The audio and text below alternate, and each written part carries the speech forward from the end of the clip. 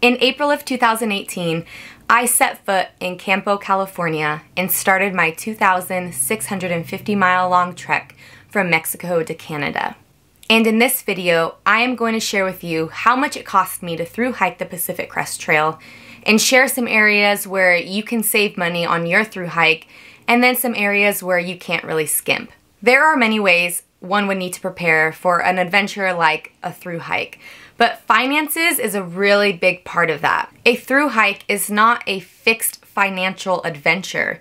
It can fluctuate drastically. But where do you even start? I've got my trusty laptop here to help us with this.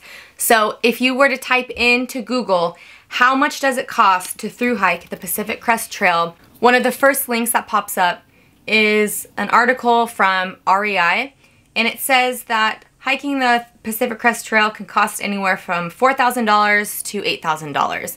And here they have this including all your gear, end-to-end -end expenses, etc. Something else you might find is that somebody estimated that it'll take $2 for every single mile and sometimes $3 for every single mile. So for the Pacific Crest Trail, $2 for 2,650 miles, that comes out to $5,300. Or if you're on the high end, $3 for every mile, that'll come out to just shy of 8 grand. But what exactly is all of this money going towards? I went back into my bank statements and compiled every single expense that I made and categorized them. And since I'm a nerd and an engineer, I put it into this wonderful 3D chart for your enjoyment we just got to put it out there that I am on the high spectrum of this, okay? I didn't really know how much it was going to cost me to through hike the Pacific Crest Trail. I didn't do much research. I just saved $10,000. So you have to understand that my spending is much higher than what you can actually save to through hike the Pacific Crest Trail. So you know, let's just let's just get that past us. I broke my expenses down into nine categories. Food and drinks, resupply, lodging, gear and clothing, post office, subscriptions, commuting, body care, and miscellaneous. But I need to let you know that none of these numbers include anything I purchased before I started trail. These numbers are just from that first day I set foot on the Pacific Crest Trail until I ended, which was about five and a half months. It cost me about $8,400 to hike the Pacific Crest Trail.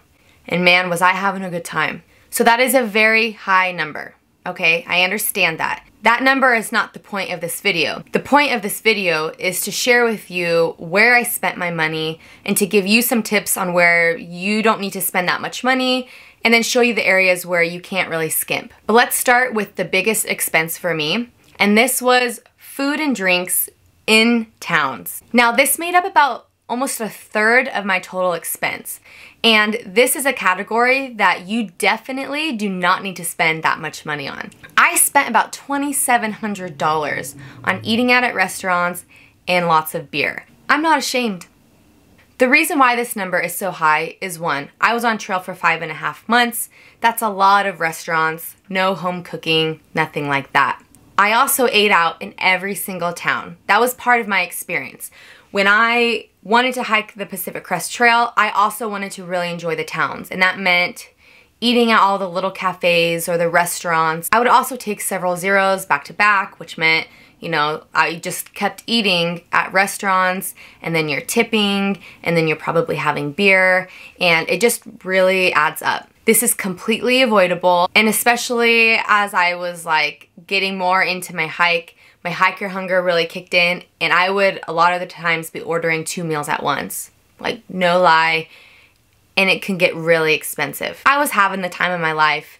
This even included one time I ordered $200 worth of pizza because it was a hiker's birthday for everyone to eat. You really can't save that much money, just know like you won't be able to eat out at restaurants as much. You don't need to drink alcohol. You don't need to buy a hiker $200 worth of pizza for his birthday. This number can be easily lowered. However, if you are just wanting to enjoy the experience without having to worry about if you can only eat at a restaurant once a week or anything like that, I would save some money so you can have some beer when you want.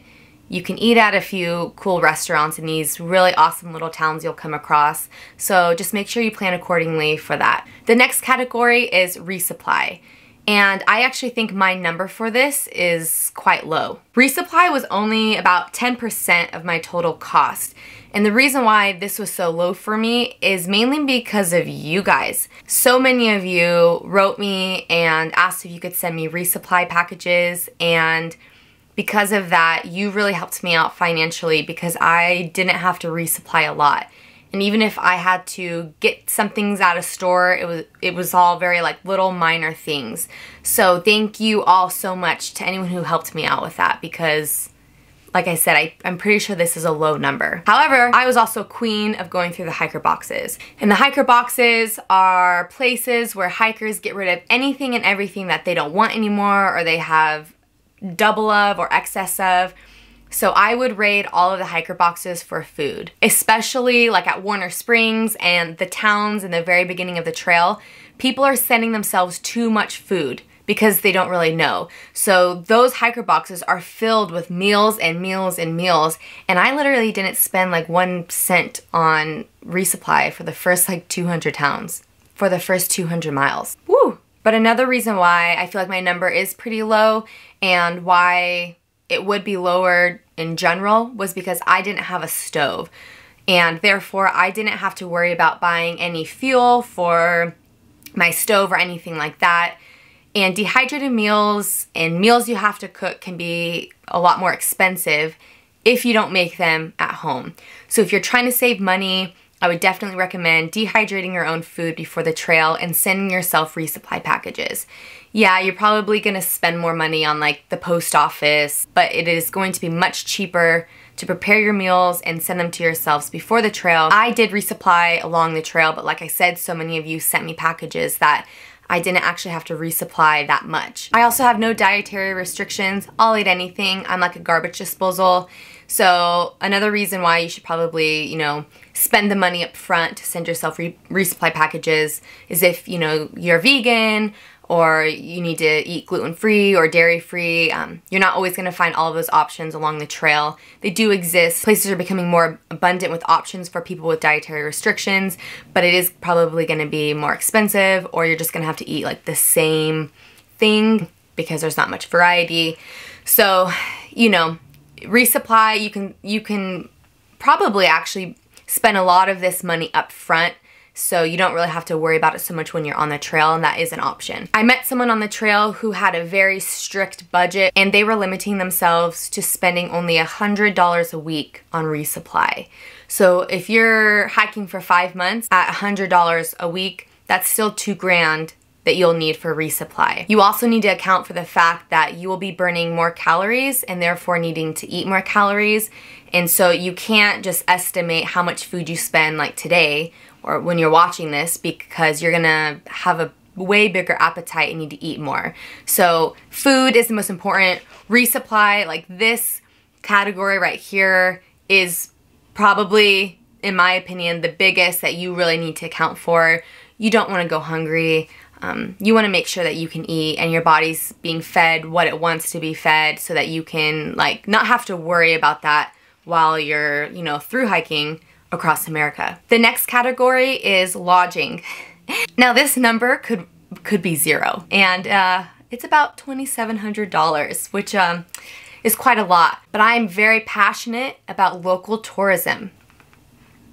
Okay but really I just love warm baths and privacy. Once again no shame with this number however I do feel like I need to just say that this number wouldn't have been so high, but once again, people like you and my soon-to-be husband, Owen, would send me cash.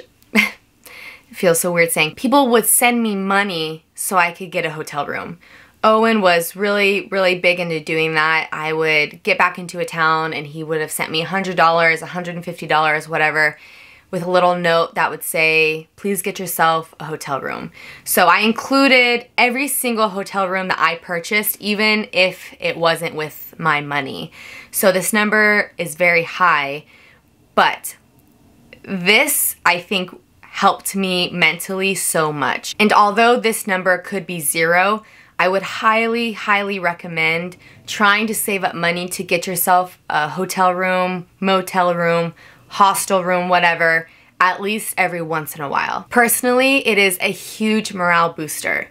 It's something to look forward to, especially if the weather is just complete crap and you're cold and you're wet. It's like this nice, safe little place where you're not exposed to the elements. You can take a shower, you can take a bath, you can clean up, you can have some quiet time. You're not worried about like a mountain lion coming into your tent or anything like that. You can sleep in a nice, warm, dry, soft bed. It's just a huge morale booster. Another reason why this number is so high is because I was uploading basically a video almost every single day. I needed time to edit my videos. I needed time to upload my videos. Usually you need Wi-Fi or service for that sort of thing. Um, sometimes don't really have service. So I would have to get a hotel room just for their Wi-Fi and it would take me a couple days. You won't be needing to spend several days in a town back to back just to upload videos and therefore incurring a lot of lodging costs. Something to think about though is especially in the beginning, if you get injured or you feel yourself getting injured, you're going to need to rest. A lot of people will roll their ankles and have to spend like a week in a in a hotel in some random town on trail and it's probably not going to be very cheap. You know, a lot of rooms could be like $80 a night upwards to like $180 a night, especially if you need time to let your body kind of like understand what you're doing to it and have some time to catch up.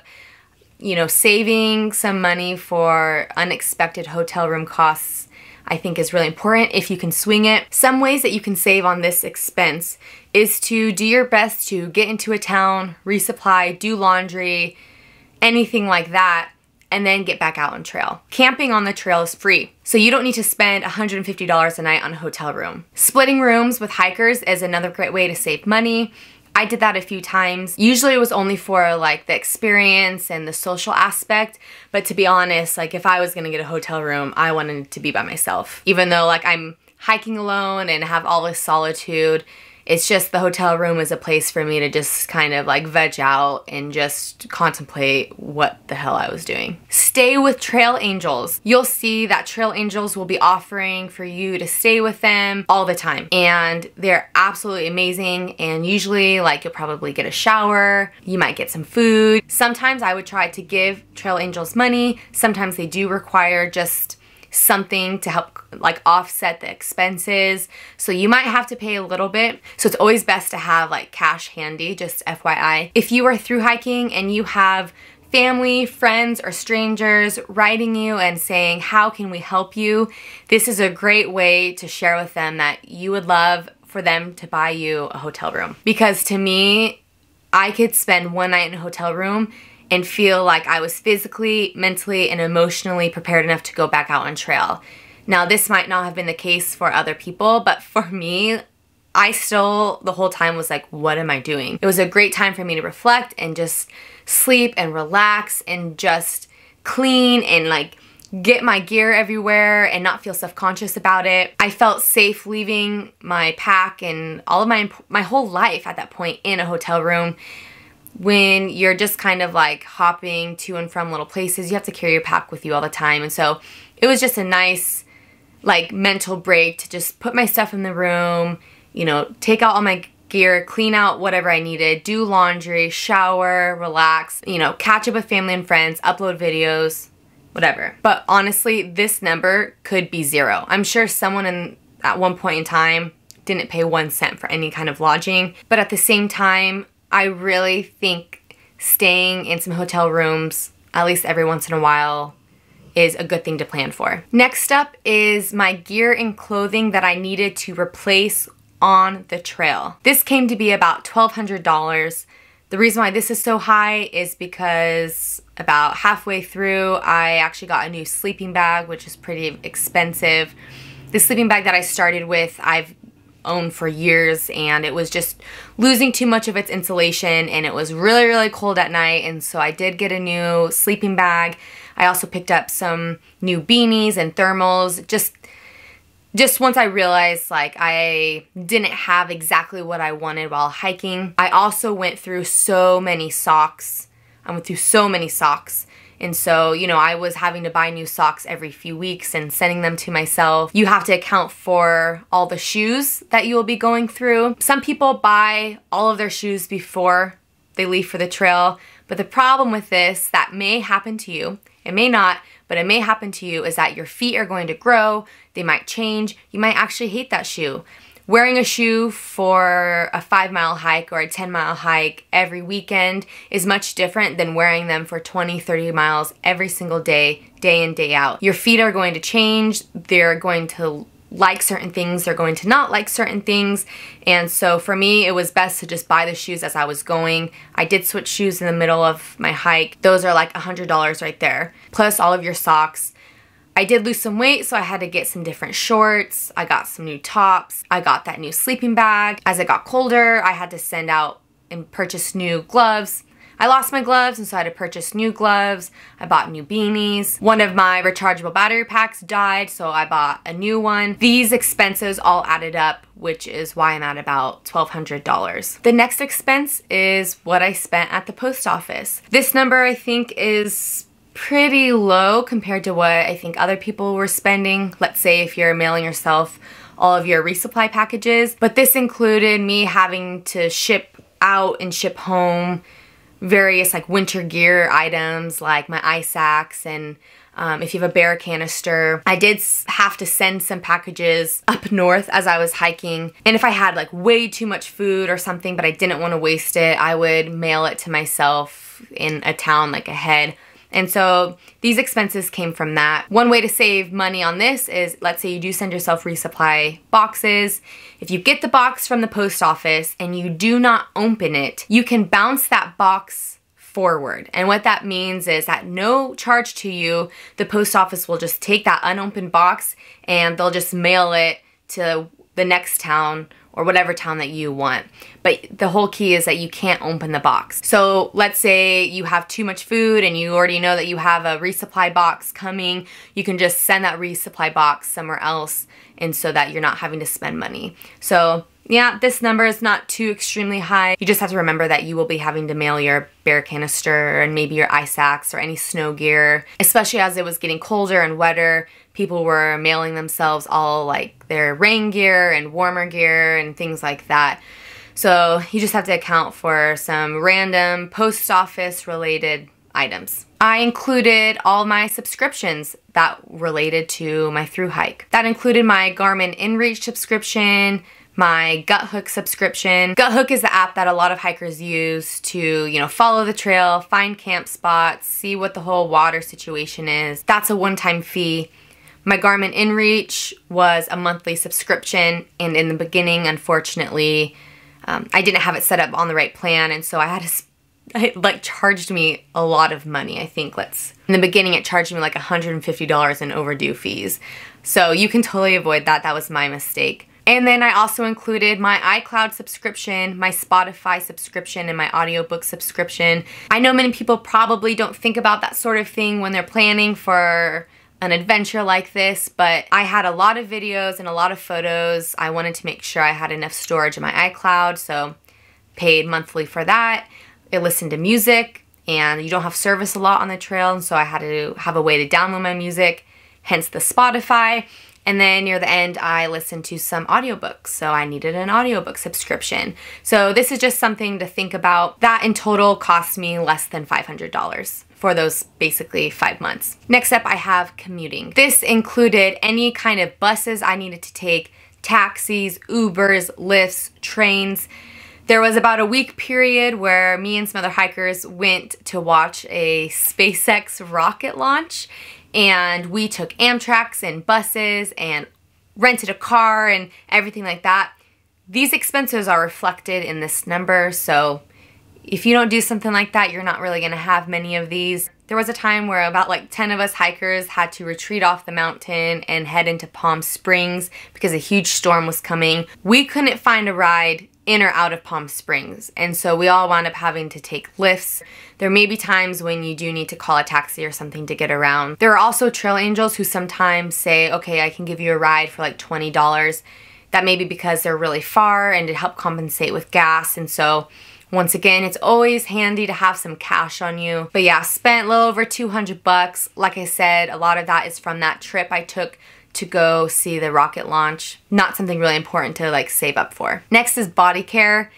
This might seem funny to you all, but I did get a massage. That was 65 bucks.